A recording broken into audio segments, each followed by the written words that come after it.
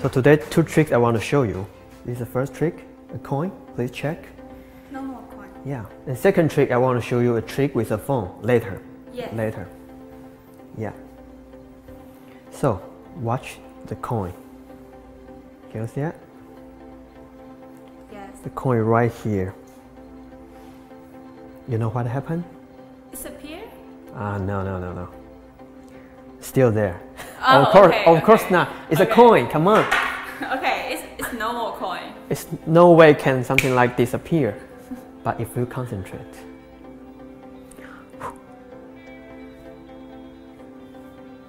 Looks like disappear Yes. completely.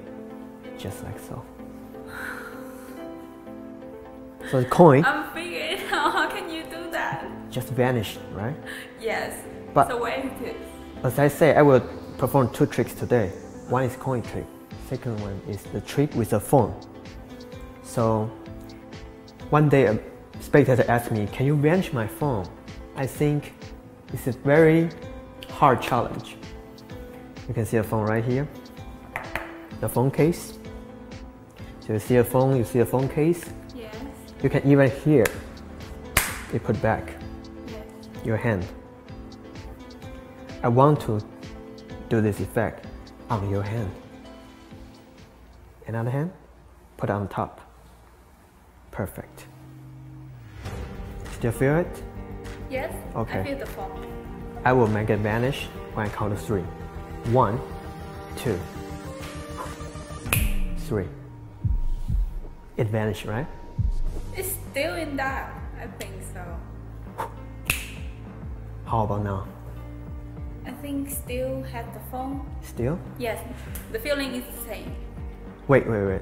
I mean, move out your hand. Just move out this one slowly. Can you still see the phone?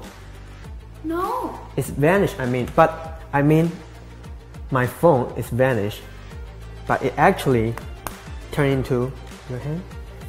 Oh. Something weird. It's a clear phone from the future. So where is your phone? It's gone. Can you do that again?